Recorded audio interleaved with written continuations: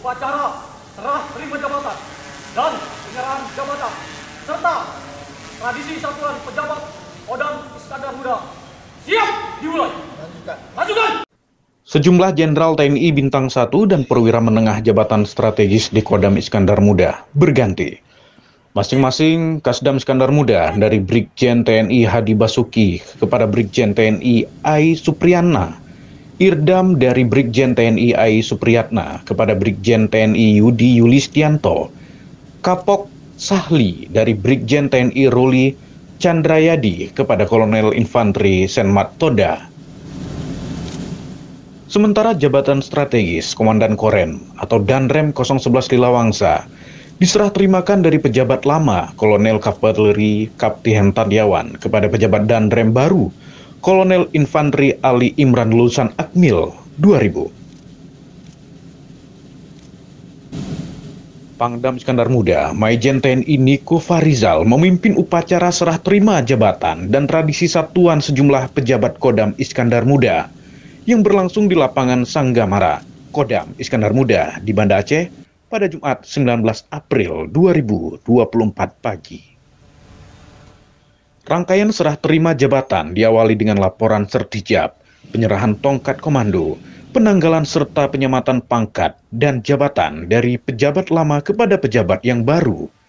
Dilanjutkan, penyerahan lambang Satuan Korem 011 Lilawangsa dan penandatanganan berita acara sertijab oleh Pangdam Iskandar Muda. Panglima Kodam Iskandar Muda, Maijen TNI Niko Fahrizal dalam sambutannya mengatakan bahwa pergantian jabatan di lingkungan Kodam Iskandar Muda merupakan penyegaran organisasi dalam meningkatkan kualitas kinerja di satuan, baik sebagai upaya regenerasi maupun untuk kesinambungan pembinaan personil. Pangdam Iskandar Muda juga menyampaikan apresiasi dan berterima kasih kepada pejabat lama atas dedikasi dan kerjasama dalam melaksanakan tugas, serta selamat datang dan selamat bertugas kepada pejabat yang baru agar mendapat membawa perubahan positif dan memberikan motivasi membawa Kodam Iskandar Muda agar lebih baik. Saya Pangdam Iskandar Muda atas nama seluruh warga Kodam Iskandar Muda. Dengan ini menyatakan secara resmi menerima Brigadir Jenderal TNI Yudi Yustianto MA, Kolonel Infanteri Sermatonda Esos, Kolonel Infanteri Ali Imran dengan mengucapkan selamat datang dan jadilah prajurit Sanggamara sejati. Selesai.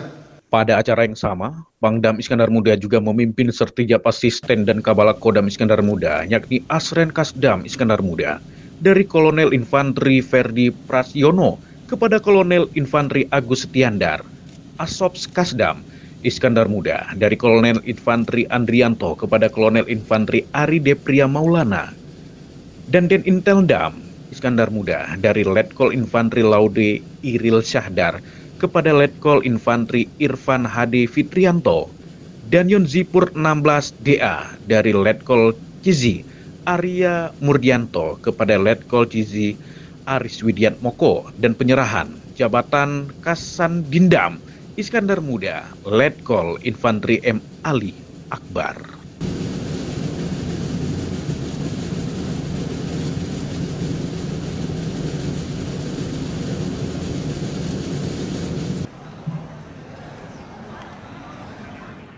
Diketahui Kolonel Infanteri Ali Imran Putra asli Aceh adalah lulusan Akmil 2000.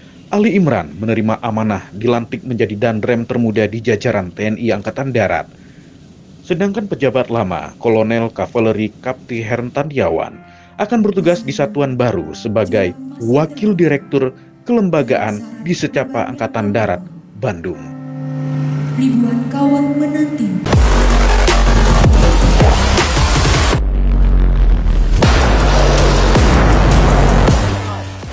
Ikuti terus perkembangan informasi selanjutnya, tetap semangat dan selalu bersyukur serta jangan lupa untuk bahagia.